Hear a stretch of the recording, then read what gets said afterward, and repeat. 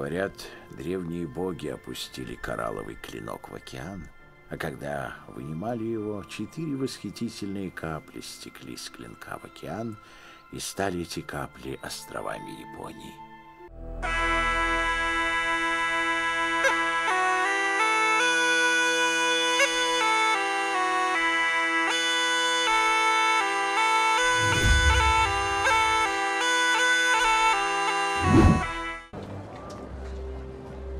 Здравы будьте, люди добрые!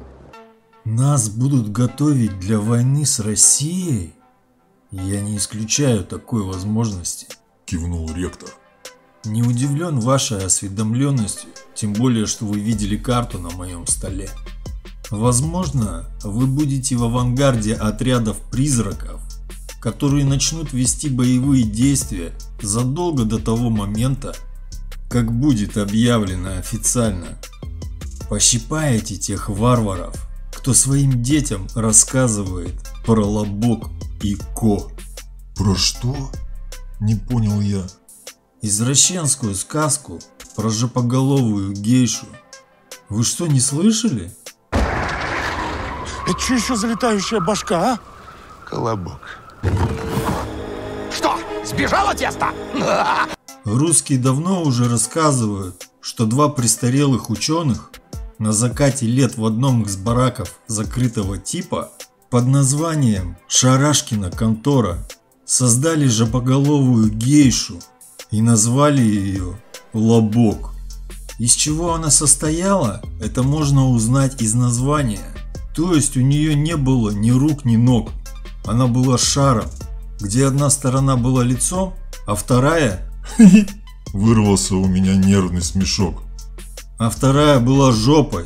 И тут нет ничего смешного, Тагисан. Русские рассказывают такие кошмары своим детям на ночь.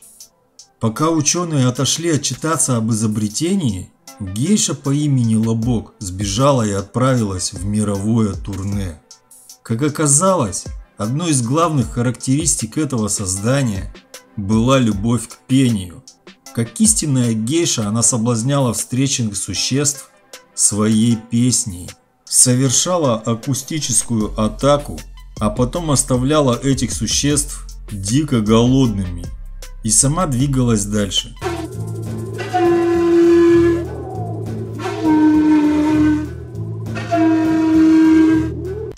Возможно, именно эта встреченная компания существ и послужила тому, что в названии было вынесено это самое пресловутое «ко».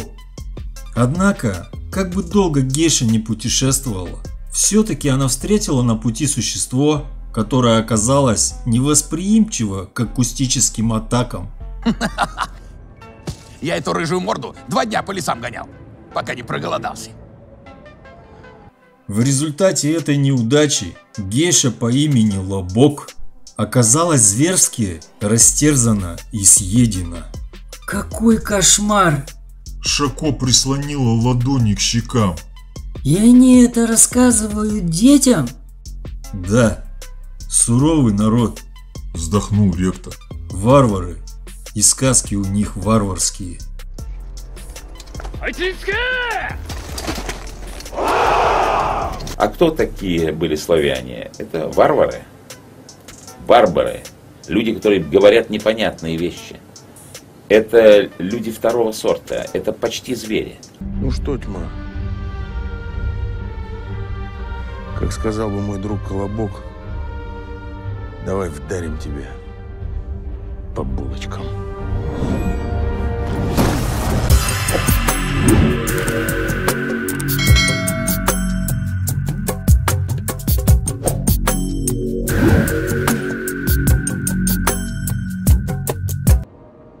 Бабка, когда меня испекла, на окне забыла. Потом дед уронил на землю. Никому не был нужен. Скитался один по белу свету. Очерствел. Раскрошу, по сусекам не соберу! Разбойничать стал, скотину воровать. Не взлюбили меня люди. Один ты мне руку протянул. Подгузник. Вкусно звучит. Это птица какая-то. Ой, тяжело пошла.